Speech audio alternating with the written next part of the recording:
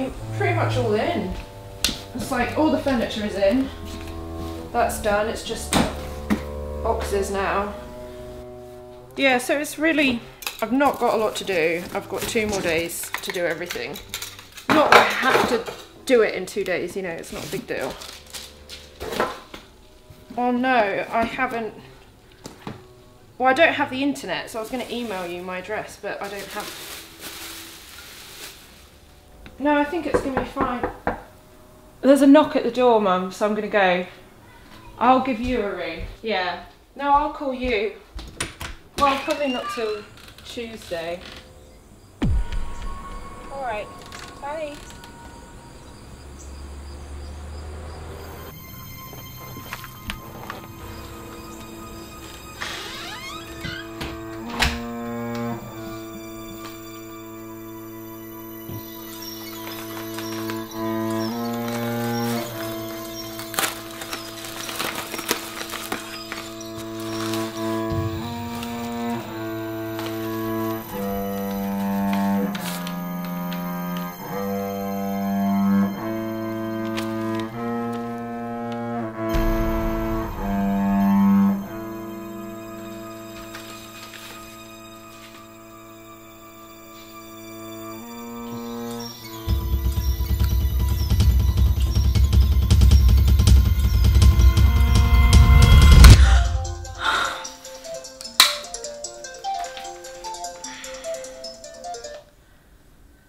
Hello.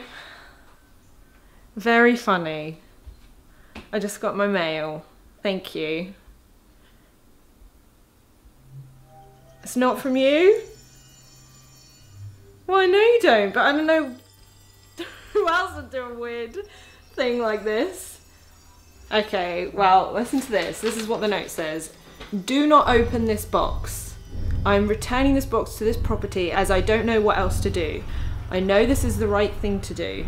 You must bury this anywhere on the property. Do not open. Just bury it and carry on with your life. You don't know me and we will never meet, but please listen and trust that this is not for you or about you. Just bury it. I wish you well. And it's just a little red box. so don't open it. I mean, okay. I don't know. Um, I'm dealing with it later. um, yeah, no, I just spoke to mum a minute ago, yeah. No, everything's